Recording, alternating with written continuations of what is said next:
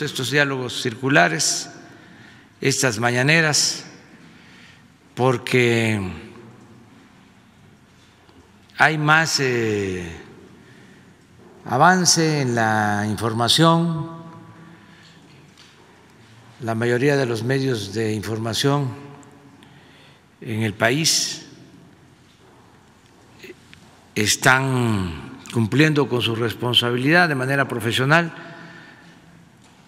Hay noticias eh, ciertas, veraces, hay objetividad en los medios